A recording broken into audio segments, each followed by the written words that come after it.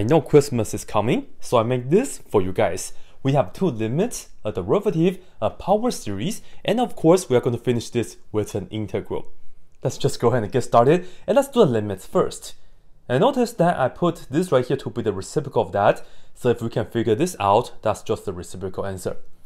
So let's see, if x is approaching infinity, ln x goes to infinity, likewise for square root of x, that also goes to infinity.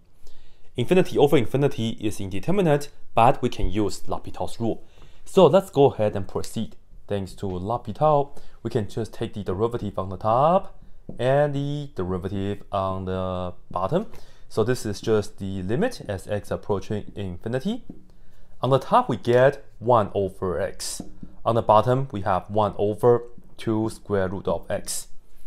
Simplify this a little bit, I'm just going to multiply the top and bottom by 2 square root of x. So this and that cancel. This is the limit as x approaching infinity. Square root of x over x. This is x to the 1 half power. This is x to the first power. So we will have x to the 1 half power on the bottom.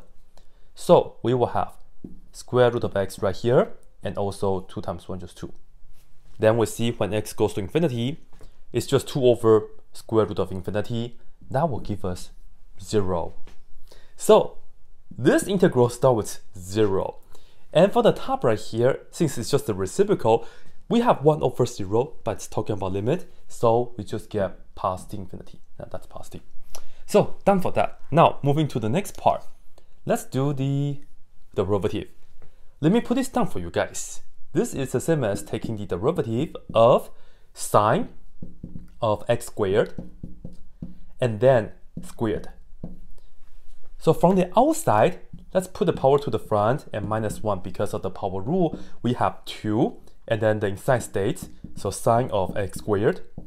And then use the chain rule right here. Multiply by the derivative sine, which is cosine. And then this input stays. And finally, multiply by the derivative of this inside, which will get 2x. And that's pretty good, but we can actually make this better. Because when we have 2 times sine cosine of the input, we can use the double angle identity to kind of condense it. So this right here is actually just sine of 2 of the angle, thanks to a double angle identity. And of course, right here, we still have that 2x. So the numerator is just equal to that, which is 2x times sine of 2x squared. Pretty good. Now finally we have that, well not finally, because we still have the integral, but this thing right here, hmm, we have an infinite series, so how can we handle that? Let's put this into a summation form, so we have the summation, n goes from 0 to infinity. Notice this, 2 and 6. In fact, the 2 is just the same as 2 factorial, 6 is the same as 3 factorial. So we are talking about 0 factorial, which is just 1, all right? And then 1 factorial, 2 factorial, 3 factorial, and so on, so on, so on. So we have n factorial on the bottom. As of the top, 2, 4, 6, so on, so on. It's just all the even numbers. And we can look at this as x squared and then to the nth power. And do you guys recognize what this function is? Yes, this right here is just nicely equal to e to the x squared power.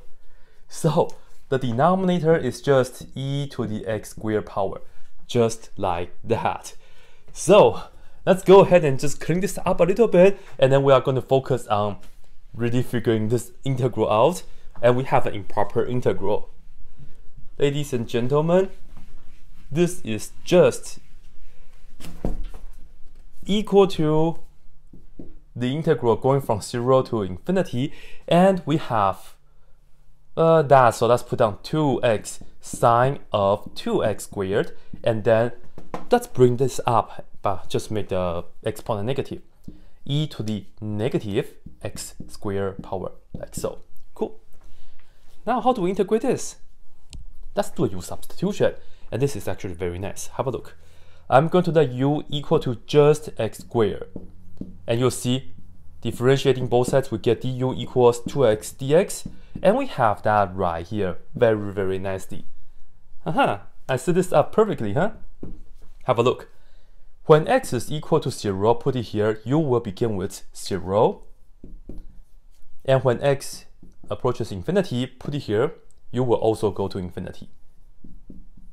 And then this and that is just du, that's put at the end. Here we have sine. The 2 stays, but the x squared is the same as u. And then here we have e to the negative x squared, which is just u. And then we are in the u world. And let's just figure this out. And how do we integrate this? Well, this is a standard calculus 2 integral. We have a sine times exponential. Use integration by parts, and this is going to be the one that you are going to get repeating case, right? So let's go ahead and do the integral right here. I'm just going to put this down, d and i, of course the di method for integration by parts. Let's get the plus or minus to get ready. Let's put down three of them, and we see, let's differentiate e to the 2u. It doesn't matter which one you pick, right? So just do that. Sine of 2u, and then let's integrate e to the negative u. If you switch this, at the end, we'll still end up with the same answer. Differentiating this, we get cosine of 2u, and use the chain rule, we have a 2 right here. Do this again, we will have negative sine of 2u, and then multiply 2 again, so this right here will be 4. Integrating e to the negative u, you get e to the negative u first, but then divided by negative 1, so you have negative.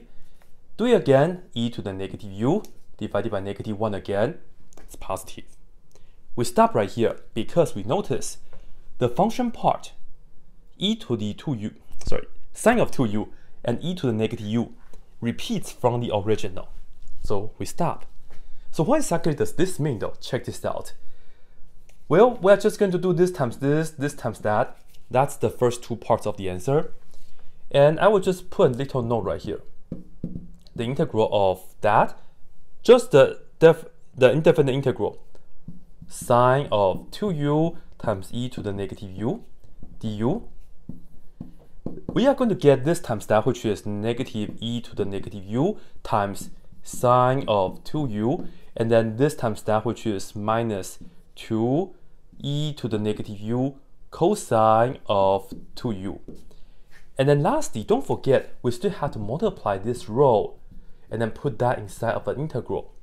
So right here, we will have to minus, here we have a 4, and then the integral, this and that, sine of 2u e to the negative u in the u world.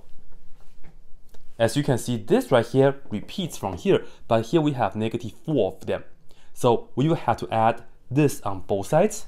So this is one integral plus 4 altogether, we will get 5 of them.